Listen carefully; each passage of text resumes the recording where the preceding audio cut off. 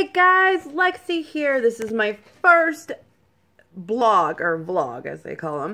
Um, I just want to say thank you so much uh, for yesterday and the day before I did my 24 hour stream. I can't believe I did it, but you guys kept me motivated and going.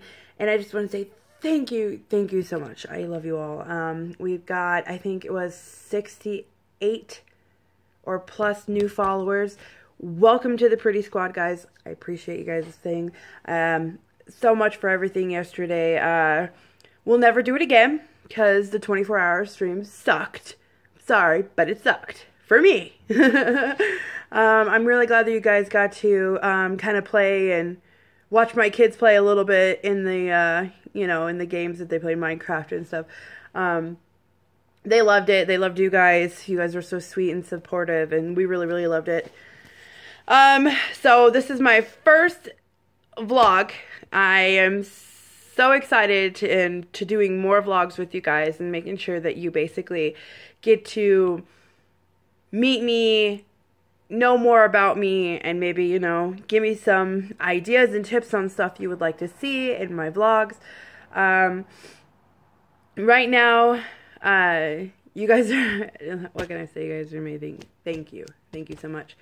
Um, do not forget tomorrow. Tomorrow, guys, Benny's Original Motorworks arrives in GTA Online, the multiplayer mode for Grand Theft Auto 5, October 20th. Tomorrow, guys, don't forget, as part of the free Lowriders update announced previously, this update will be released across Xbox One, PlayStation 4, and PC.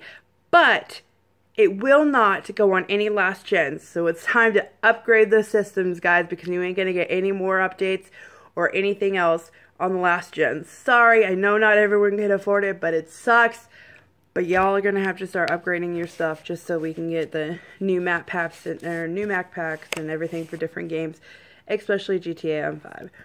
Um, lowriders are um, also included new weapons, adversary modes, and Lamar missions, as well as much requested ability to purchase a fourth property, guys. A fourth property. So anybody who wanted a fourth property or anyone who really needed that space for their cars, you can now purchase a fourth property.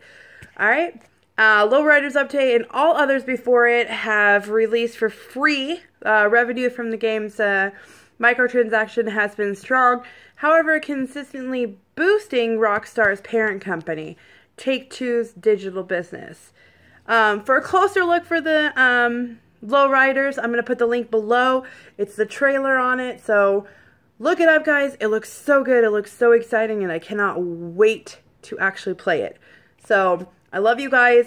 Thank you so much for yesterday, and I'll see you on GTA. Bye, guys. I love you.